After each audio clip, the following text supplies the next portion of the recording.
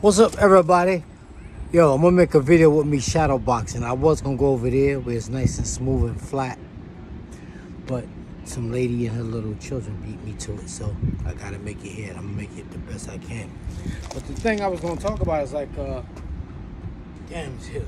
You know, just jabbing, jab, jab. When you jab, you're pushing off for this foot, and you're coming forward with that foot. And the thing about a jab is you always throw two jabs. And the reason you throw two jabs is because if you throw one jab, a lot of times the guy will block it and he'll counter. Or he'll move and counter. So if you throw one jab, if you box it, and you throw a jab, he could, he come right back with it. He could knock it down, or he could like boom, boom. He could come like that, boom. He could do like that, so it's always throw two jabs. Boom. You gotta so two jabs, wop, wop, wop, wop. You know, constantly moving your head. There's a rhythm to moving your head, but I'll go into that another time. But the whole thing about boxing is when you fight is like when you get in that ring, that's your home.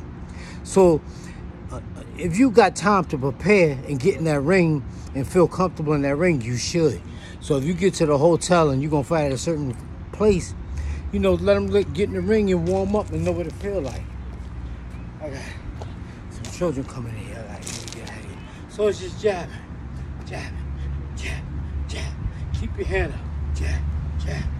Keep your hand up, jab, jab. Everything's with jab, jab, jab.